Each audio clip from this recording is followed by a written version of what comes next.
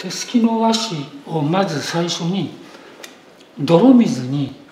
浸すんです。1日かもうちょっと干して。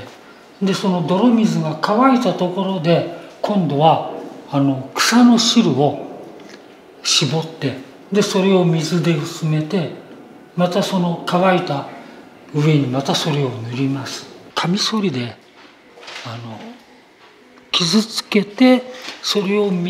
水で薄めてまた塗りたくる。そうするとこうなります。あその上で観光乳剤をもちろん塗ってそれでネガを焼き付けるとこうなります。9割方は多分あの路上生活者とかその日暮らしの人にどうしてもレンズが向いちゃいまして素晴らしい人がいっぱいおりますからあの路上で生活している。素晴らしいっていうのはあんまり背負ってなくていろんなものを背負ってなくていつもポカンとしている人、それを僕は素晴らしいと思います。放浪っていうのはあっちの国に行ってこっちの国に行って世界中をぐるぐるとかそういう放浪ではないんです。放浪者は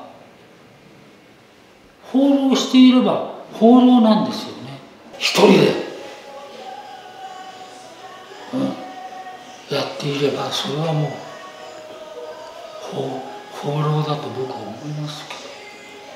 僕がこれを焼いてればこれの中でそれが重なる重なる時があるんです。その時が僕のあの色が決まった時なんです。もうこれでいいんだっつってジャンキャバンが出たんだっつってあのもう本当に布団かぶって泣きじゃくりますよ。何が何でも作りたいじゃないですか。